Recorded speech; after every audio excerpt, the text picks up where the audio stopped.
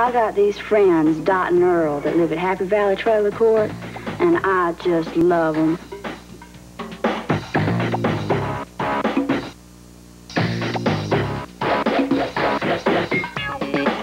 Nice, nice, nice, nice. Good, good, yes, nice, nice, nice, yes, yes. Wonderful.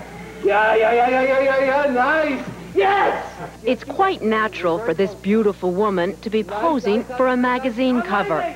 Yeah! That's good, that's good, that's good. That's wonderful. As a high-priced fashion model, she's graced nearly 100 covers. Looking good, looking good, looking good. You like your work, don't you, Andie? Yes, wonderful. But Andie McDowell has a right to be happy because this photo shoot is for a magazine called Premiere, a movie magazine. And this supermodel turned big-time actress is finally sitting pretty. Yes, nice. There's only like certain actresses that are in demand, and they have priority over the good scripts. But the nice thing is, it's now I have priority over the good scripts. Yeah, yeah, and uh, come on, the bad guy again. Yeah, that's good, that's good, that's good. The bad guy here is France's biggest film star, Gerard Depardieu, and he's co-star in Disney's latest release, Green Card. She's also recently finished movies with John Malkovich and Bruce Willis, going from brains to brawn without skipping a beat. Not bad for a dumb model. When it feels good, you want it to last. people get ideas about what, you know, who you are and stuff, and I think modeling hurt me a lot. It's just the way our society is. And one of the negative things that people always like to say is that models are stupid and all models want to act. I got these friends, Dot and Earl, that live at Happy Valley Trailer Court, and I just love them. In 1984, Andie was a model who desperately wanted to be an actress. She thought she got her big break in a movie called Greystoke, The Legend of Tarzan, playing Jane to Christopher Lambert's Ape Man. But for Andie McDowell, it was not a pretty picture. Take me back to the first role you ever got. I know you don't like to talk about it, but I'm going to ask you about it anyway. All right. If you have to. Who doesn't? Everybody does. Anyway, I mostly volunteer it nowadays. Okay, go ahead and volunteer it. What was I going to ask you?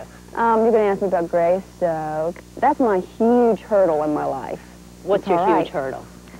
Well, I was dubbed. I mean, not only am I mo- a model, I'm a model that got dubbed in her first film. I mean, what a dilemma. I mean, I mean, you might as well have just like crucified me, you know, and just like forgot about it. What got her so upset was that they replaced her lovely South Carolinian drawl with the mellifluous and unaccented voice of Glenn Close. So if you caught this clunker, you saw Andie, but you heard Glenn. He must be allowed to decide for himself. I want him to stay, but I also want him to be happy. As happy as he can be. And we want for him only what he wants for himself. I told a good friend of mine, I said it was like someone dug a grave for me, put me in it, and buried it. Couldn't have done anything more disastrous to somebody. Could not have. Did you feel devastated? Oh, crushed completely. And I knew, I knew right then, I knew everything that was in, ahead of me. I knew what everybody was going to say, what everybody was going to think, I knew everything that I was going to have to go through. But for a small part in St. Elmo's Fire as an object of love for a brainless brat packer and a stint in an Italian mini-series she hopes will never cross the Atlantic, Andie McDowell was nowhere to be seen, Stop moping and lash out. except on every L'Oreal magazine ad and television commercial.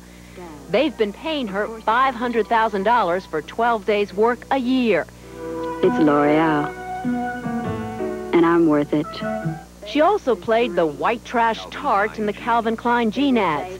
The only thing this out-of-work actress waited on was her next paycheck. Someday, we're gonna see Atlanta. Why do you think all of a sudden you're acting so much and for so long there weren't any jobs? Well, I think that Sex Lies kind of changed everything for me. It was like the best thing that ever happened for my career. Sex? What about sex? Everything. about sex lies and videotape was good for Andie McDowell, a taut, erotic psychodrama depicting 30-something sexuality in a small southern town.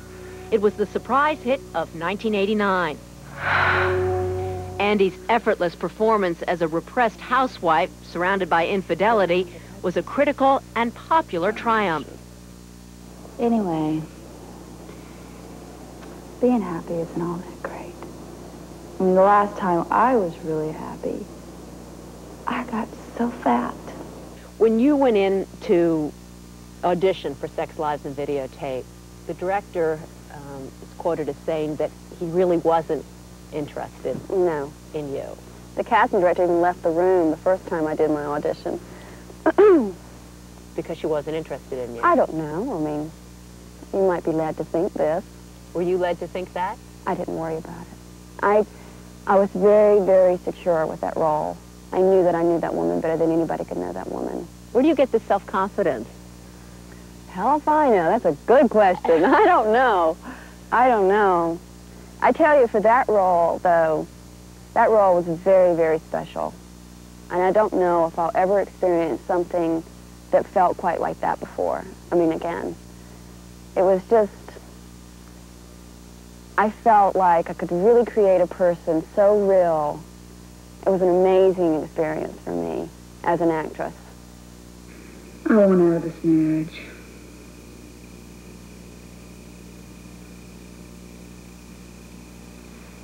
What?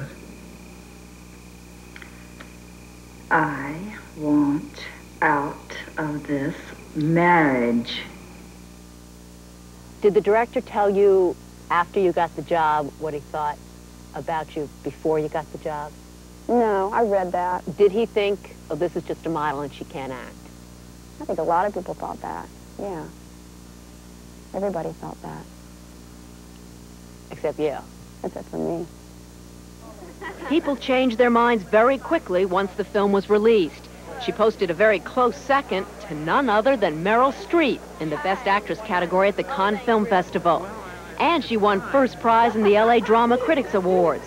Pretty heady stuff for just another pretty face. Here's Andie enjoying a quiet moment with Bruce Willis.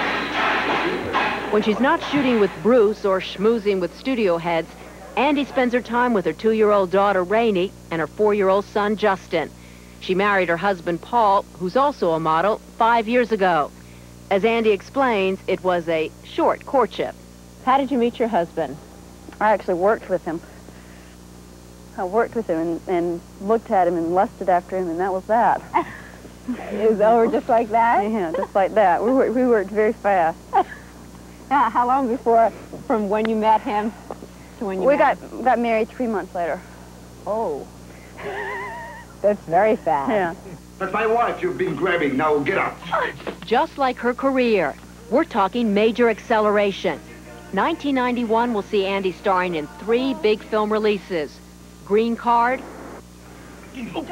Hudson Hawk, and Object of Beauty. As a model, the camera has always loved her. Now the rest of the world will get their chance. Oh, you're so good. yeah, you are fantastic.